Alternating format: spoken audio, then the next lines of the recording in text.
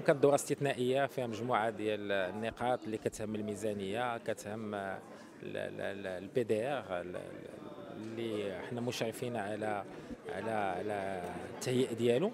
كذلك تكلمنا في مجموعة من النقاط اللي كتهم الجهة وهي ملفات اللي كتهم الشباب اللي كتهم الاستثمار الداخلي والخارجي الوطني والأجنبي. وكذلك تهم كذلك تأهيل الإدارة.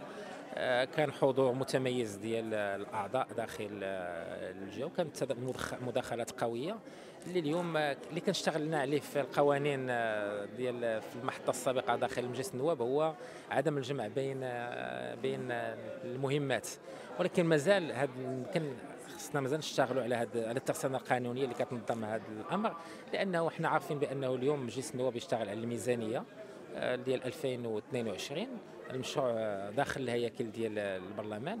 وكاين مجموعه ديال الساده النواب المستشارين اللي هما عندهم العضوية في المجالس في مجلس النواب. وبذلك تعضى عليهم الحضور.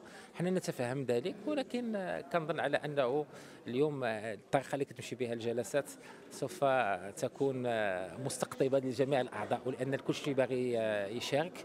وحنا الطريقة ديال العمل ديالنا خدينا القرار فيها هي طريقة تشاركية ما فيهاش آه، أغلبية ومعارضة فيها الأفكار آه، النيرة والأفكار التي ستدفع بالجهة ديالنا وليتنافس المتنافسون داخل الجهة داخل داخل المجلس.